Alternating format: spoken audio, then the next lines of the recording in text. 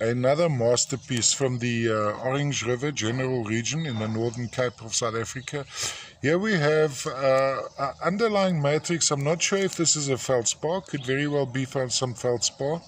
With this, there's almost a section of quartz sitting on that.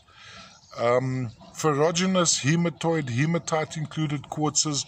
Now, there's various interesting aspects from a geological point of view to this material. Now, first of all, you had a first generation of quartz, which was coated with hematite come goethite in stages of oxidation. This was again capped by a second generation of quartz, hence the phantoming. And inside the second generation, you'll see little grey flakes, grey to silver metallic flakes, which would be some hematite, uh, most likely little blades of hematite. Some of them uh, uh, more advanced oxidation. So that would have been at least two generational growth.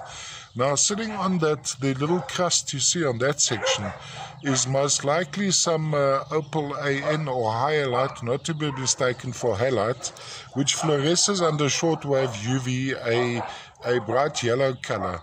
Specimen size is, is pretty much a hand size, so uh, actually maybe a little bit bigger than a hand size.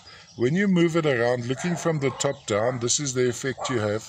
And and please note, if you are interested in these, you should uh, you'd be well advised to watch the video videos because the still pictures really give a very. I've, I've been struggling to take photographs of these, uh, the still pictures, because what happens, the the camera doesn't recognize the red so nicely, so it blows out or, or totally underexposes uh, and then I have to overexpose it and often I kill a little bit of the color.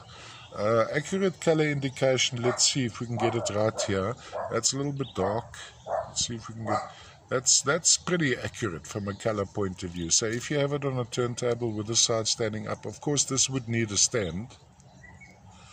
All the way from South Africa, Orange River Quartz. You had one more zoom.